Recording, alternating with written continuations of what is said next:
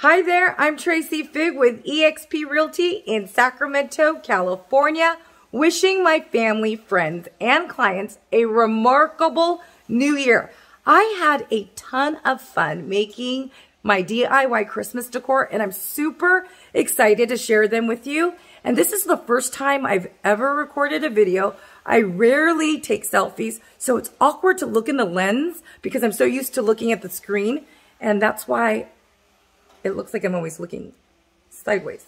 So, I think kids would have so much fun making this DIY reindeer. And it's super simple to make.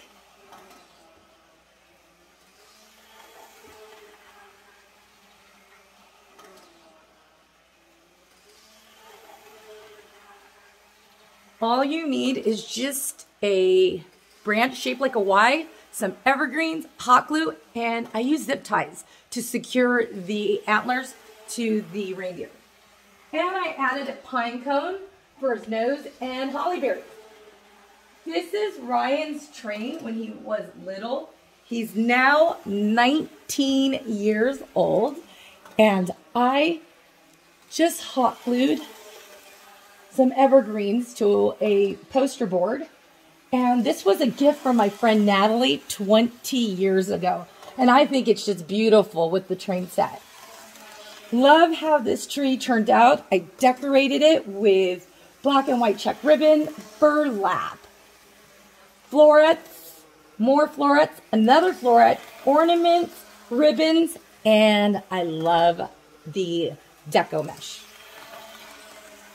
I also made ornaments and I got these ornaments from the Dollar Tree and I just decorated it with a ribbon and a floret with a clip.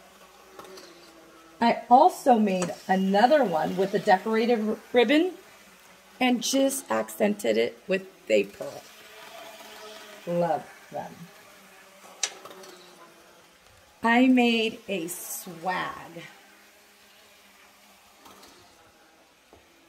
with a ton of evergreens.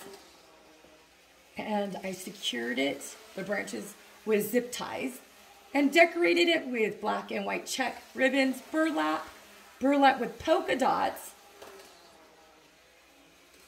black and white check deco ribbon, more black and white ribbon, and I absolutely love the fairy lights because they're made with copper and they blend beautifully with the foliage.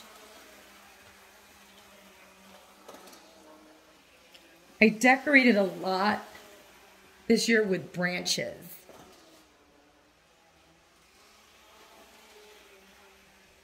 This is my natural tree, and I just love these.